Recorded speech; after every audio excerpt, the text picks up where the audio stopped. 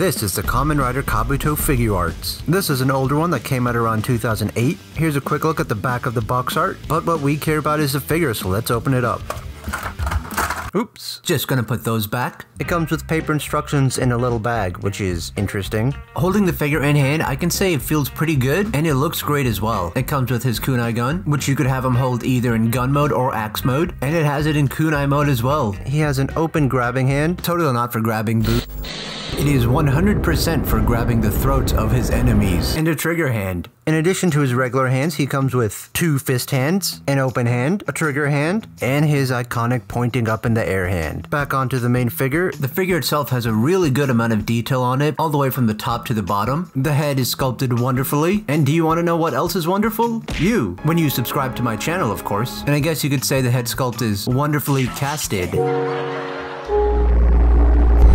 It even has some detail at the top of his head thing. Whatever it's called, I don't really know. The shoulders look great and have some nice detail as well. The Zector looks kind of off, but that's because it's so small. There's a small dick joke in there somewhere, just like in my pants. The rest of the belt has some great detail all the way around. There's a peg hole for the Hyper Zector, which it does not come with. He's got nice details on the legs as well. And the feet are die-cast metal, giving it some extra weight. It's not really something they do for the more recent Rider Figuarts. The bottom of the feet also have some molded details as well. The figure itself feels semi-solid. The top of the figure I'd still be a little bit careful with. A major unfortunate thing though is that the legs are super loose. And trying to get him to stand is a little difficult. The figure looks great and has some great paint application as well. All the red is nice and shiny. The blacks shine a little bit. The silver parts are shiny. You can tell a lot of time and effort went into making this figure to make it as good as it was for the time. Here's a quick look at the back of the figure. I really don't like all that text on there. It really gets in the way of the aesthetic of the figure. I feel like this figure captures captures Kabuto really excellently.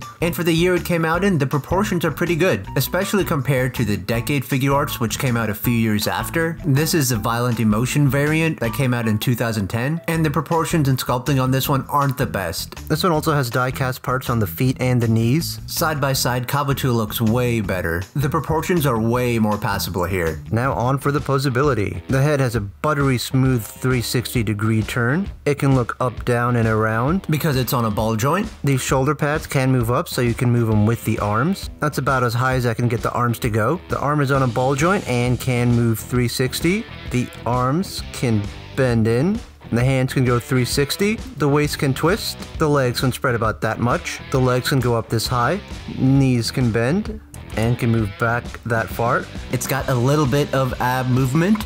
The feet can pivot side to side, but there is no 360 rotation. The feet can also move up and down, and there is some toe movement.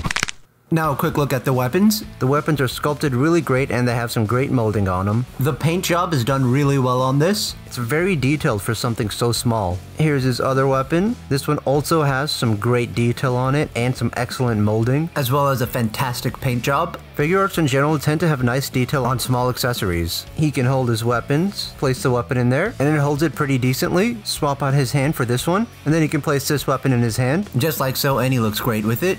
Getting him to stand normally is fairly easy, but trying to get him into a more dynamic pose is really hard with the Lute's legs. The legs just keep sliding farther apart, so it might be a good idea to have him on a stand. It holds up pretty well side by side with the more recent Figuarts. Here it is next to Kamen Rider OOO from the Shinko, you know what, I'm not even gonna try to pronounce that. So here it is next to OOO from the 2019 release. Here it is next to Ex-Aid, also from the 2017 words that I can't pronounce release. Listen, I'm brown, what do you expect? Here it is next to the Rider Kicks release of Build. I'm never gonna get over how amazing this show was. Here it is next to the 2012 Den-O release, and I still think Kabuto looks much better. I bought this one at a convention for $60, and while it is a good figure, I would still get a version that's more recent. Also just now his kneecap came off, and I'm not really sure where it is anymore. Can you help me find this little bit right here? Come here, help me, help me.